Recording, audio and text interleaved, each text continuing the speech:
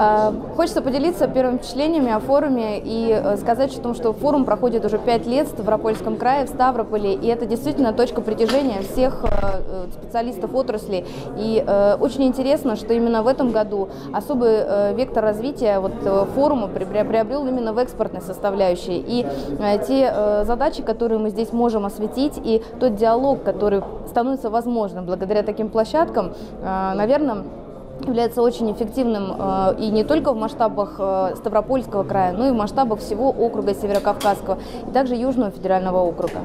Хочется пожелать э, участникам в этом году получить максимальный результат для себя, почерпнуть полезные контакты и понимать, заручиться поддержкой именно бизнеса, заручиться поддержкой тех федеральных инструментариев, которые уже имеются, это и Российский экспортный центр, и обязательно обращаться к мерам поддержки правительства Ставропольского края. Особая благодарность организаторам за эту возможность и надеемся, что этот форум будет продолжать свою ежегодную традицию в Ставропольском крае. Спасибо.